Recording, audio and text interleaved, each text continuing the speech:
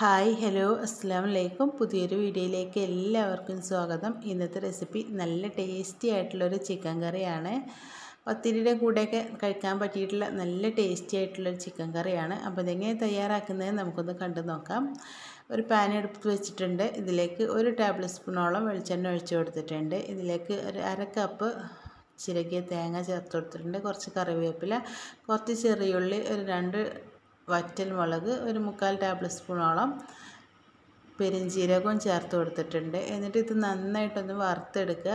വറുത്തെടുക്കുമ്പോൾ ഒരു medium low ഫ്ലെയിമിലിട്ടിട്ട് വേണം വറുത്തെടുക്കാനായിട്ട്. തേങ്ങ കരിഞ്ഞിപ്പോയാൽ ഒട്ടും ടേസ്റ്റ് ഉണ്ടാവില്ല. അപ്പോൾ ഒരു മീഡിയം ടു ലോ ഫ്ലെയിമിലിട്ടിട്ട് തന്നെ നന്നായിട്ട് വറുത്തെടുക്കുക. അപ്പോൾ അതാ ഞാനിപ്പോൾ ഇത് നന്നായിട്ടൊന്ന് വറുത്തെടുത്തിട്ടുണ്ട്. ഇനി ഞാൻ ഈ തീ ഓഫ് ചെയ്യാണ്. ഇപ്പോൾ നല്ല ചൂടായിട്ടാണ് കിടക്കുന്നത്. അപ്പോൾ ഞാൻ തീ ഓഫ് ചെയ്തിട്ട് ഇതിലേക്ക് ഒരു ടേബിൾ സ്പൂണോളം മുളക് പൊടിയും ഒരു ടേബിൾ സ്പൂണ് മല്ലിപ്പൊടിയും ചേർത്ത് കൊടുക്കുന്നുണ്ട്. ഈ പൊടികളുടെ പച്ചമണം പോകുന്നത് വരെ ആ ഒരു ചൂടിലിട്ടിട്ട് ഒന്ന് വറുത്തെടുത്താൽ മതി. വേണമെങ്കിൽ ലോ ഫ്ലെയിമിലേക്ക് ആക്കി കൊടുത്താലും മതി. പൊടികളും അതുപോലെ തന്നെ കരിഞ്ഞു പോവാതെ ശ്രദ്ധിക്കണം. അപ്പോൾ നന്നായിട്ടൊന്ന് ചൂടാക്കി എടുത്താൽ മതി. അപ്പോൾ ഇതാ ഞാനിപ്പോൾ ഇത് നന്നായിട്ടൊന്ന് ചൂടാക്കി എടുത്തിട്ടുണ്ട്. ഇനി നമ്മളിത് ചൂടാറാനായിട്ട് മാറ്റി വെക്കുകയാണ് വേണ്ടത്. എന്നിട്ട് ഒരു മിക്സിയുടെ ജാറിലേക്ക് ഇട്ടിട്ട് കുറച്ച് വെള്ളം ഒഴിച്ചു കൊടുത്തിട്ട് ഒന്ന് അരച്ചെടുത്താൽ മതി. അപ്പോൾ ഇത് അരച്ചെടുത്തിട്ട് നമുക്കിതൊന്ന് മാറ്റി വെക്കാം. ഇനി നമുക്ക് കറി ഉണ്ടാക്കാനായിട്ട് തുടങ്ങുക. അതിനായിട്ട് ഞാനിവിടെ ഒരു മറ്റൊരു പാൻ എടുത്ത് വെച്ചിട്ടുണ്ട്. ഇതിലേക്കൊരു നാല് ടേബിൾ സ്പൂണോളം വെളിച്ചെണ്ണ ഒഴിച്ച് കൊടുത്തിട്ടുണ്ട്. വെളിച്ചെണ്ണ ചൂടായി വന്നപ്പോൾ ഒരു ടേബിൾ സ്പൂൺ ഇഞ്ചിയും ഒരു ടേബിൾ സ്പൂൺ വെളുത്തുള്ളിയും ഇതുപോലെ ചതച്ചെടുത്തിട്ടുള്ളതാണ്. അത് ചേർത്ത് കൊടുത്തിട്ടുണ്ട്. ഇതിന്റെ പച്ചമണം പോകുന്നതിന് വരെ ഒന്ന് വഴറ്റി കൊടുക്കുക. എന്നിട്ട് ഇതിലേക്ക് കുറച്ച് കറിവേപ്പില ചേർത്ത് കൊടുത്തിട്ടുണ്ട്. പിന്നെ വേണ്ടത് ഒരു വറ്റൽമുളകാണ്. അത് ഇതുപോലെ ഒന്ന് നടുകെ പൊട്ടിച്ച് കൊടുത്തിട്ടുണ്ട്. അതും കൂടെ ചേർത്ത് കൊടുക്കുക.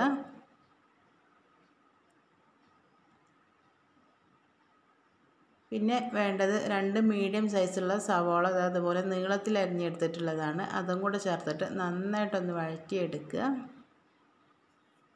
സവാള ചേർത്തിട്ട് ഈ ഒരു കറിക്ക് ആവശ്യമായിട്ടുള്ള ഉപ്പും കൂടെ ചേർത്ത് കൊടുക്കുക. അപ്പോൾ സവാള പെട്ടെന്ന് തന്നെ വഴന്ന് കിട്ടിക്കോളും.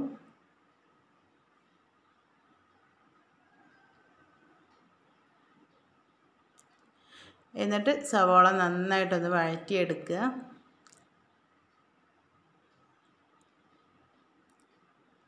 അപ്പോൾ ഇതാ സവാളയൊക്കെ ഇപ്പോൾ ഇവിടെ നന്നായിട്ട് വഴന്ന് കിട്ടിയിട്ടുണ്ട്. ഇനി ഈ ഒരു കറിക്ക് ആവശ്യമായിട്ടുള്ള പൊടികൾ ചേർത്ത് കൊടുക്കുക. ആദ്യം തന്നെ ഒരു കാൽ ടേബിൾ സ്പൂണോളം മഞ്ഞൾപ്പൊടി ചേർത്ത് കൊടുക്കുന്നുണ്ട്. പിന്നെ ഒരു ടേബിൾ സ്പൂൺ മല്ലിപ്പൊടിയും ഒരു ടേബിൾ സ്പൂൺ മുളക് പൊടിയും ചേർക്കുന്നുണ്ട്. അപ്പം മുളക് പൊടി നിങ്ങളുടെ എരിവ് നോക്കിയിട്ട് ചേർത്ത് കൊടുക്കുക. പിന്നെ ഒരു അര ടേബിൾ സ്പൂൺ ചിക്കൻ മസാലയും അര ടേബിൾ സ്പൂണോളം ഗരം മസാലയും ചേർക്കുന്നുണ്ട്. ഈ പൊടികളായിട്ട് ഇത്രയും മതി. എന്നിട്ട് ആ ഒരു പൊടികളുടെ പച്ചമണം പോകുന്നത് വരെ നന്നായിട്ടൊന്ന് വഴറ്റി കൊടുക്കുക. പൊടികളുടെ പച്ചമണമൊക്കെ പോയി വന്നാൽ അതിലേക്ക് ഒരു മീഡിയം സൈസുള്ള തക്കാളി ഇതുപോലെ ചെറിയതായിട്ടാണ് അരിഞ്ഞെടുത്തിട്ടുള്ളത്. അതും കൂടെ ചേർത്തിട്ട് നന്നായിട്ട് വഴറ്റിയെടുക്കുക. തക്കാളി നന്നായിട്ട് ഉടഞ്ഞ് കിട്ടുന്നത് വരെ തന്നെ നന്നായിട്ടൊന്ന് വഴറ്റിയെടുക്കുക. ഇനി ഇതിലേക്ക് നമ്മൾ കഴുകി വൃത്തിയാക്കി എടുത്തിട്ടുള്ള ചിക്കനാണ് ചേർത്ത് കൊടുക്കുന്നത്. ചിക്കൻ ചേർത്തിട്ട് ഒന്ന് നന്നായിട്ടൊന്ന് ഇളക്കി കൊടുക്കുക.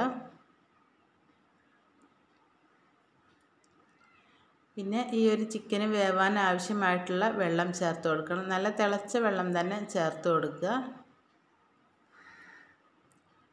എന്നിട്ട് ഒന്ന് ഇളക്കി കൊടുത്ത ശേഷം നമ്മളിത് അടച്ച് വെച്ചിട്ട് ഒരു പത്ത് പന്ത്രണ്ട് മിനിറ്റോളം ഒന്ന് വേവിച്ചെടുക്കുന്നുണ്ട്. ഒരു മീഡിയം ടു ലോ ഫ്ലെയിമിലിട്ടിട്ട് തന്നെ വേവിച്ചെടുക്കുക. അപ്പോൾ ഇത് അടച്ച് വെച്ചിട്ട് നമുക്കൊന്ന് വേവിച്ചെടുക്കാം.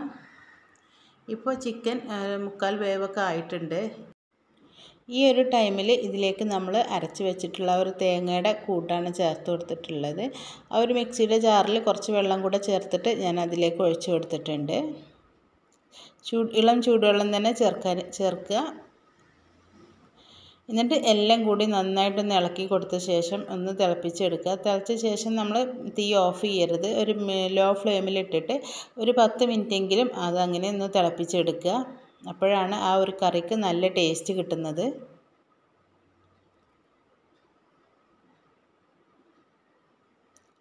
അപ്പോൾ ഇതാ കറിയൊക്കെ ഒന്ന് തിളച്ച് വന്നിട്ടുണ്ട്. ഇനി ഒരു പത്ത് മിനിറ്റെങ്കിലും ഇത് ഇങ്ങനെ ചെറിയ തീയിലിട്ടിട്ട് നന്നായിട്ടൊന്ന് തിളപ്പിച്ചെടുക്കുക. ഈ ഒരു ടൈമിൽ ഉപ്പ് കുറവുണ്ടെങ്കിൽ ചേർത്ത് കൊടുക്കുക. എന്നിട്ട് ലോ ഫ്ലെയിമിലിട്ടിട്ട് ഇതുപോലെ ഒരു പത്ത് മിനിറ്റ് നന്നായിട്ടൊന്ന് തിളപ്പിച്ചെടുക്കുക.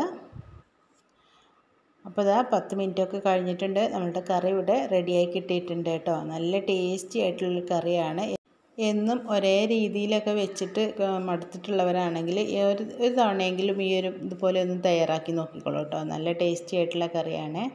അപ്പോൾ ഞാൻ അതിലേക്ക് കുറച്ച് കറിവേപ്പിലും കൂടെ ചേർത്ത് കൊടുത്തിട്ടുണ്ട്. പിന്നെ ഒരു ഒരു ടേബിൾ സ്പൂണോളം വെളിച്ചെണ്ണ പച്ച വെളിച്ചെണ്ണയും കൂടെ അതിന് മുകളിലായിട്ട് ചേർത്ത് കൊടുത്തിട്ടുണ്ട്. നമ്മളിത് വേറെ തൂമിച്ച് ഒഴിച്ച് ഒഴിച്ച് കൊടുക്കുന്നൊന്നുമില്ല.